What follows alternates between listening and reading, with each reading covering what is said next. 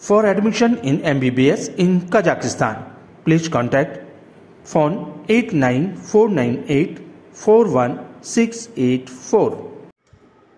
नसीराबाद ग्राम पंचायत लोहरवाड़ा में स्वच्छता अभियान के तहत राजकीय उच्च माध्यमिक विद्यालय लोहरवाड़ा के छात्र छात्राओं द्वारा स्वच्छता पखवाड़े के तहत रैली निकाली गई, जिसमें सभी ग्रामवासियों को साफ़ सफ़ाई के बारे में जागरूक किया गया।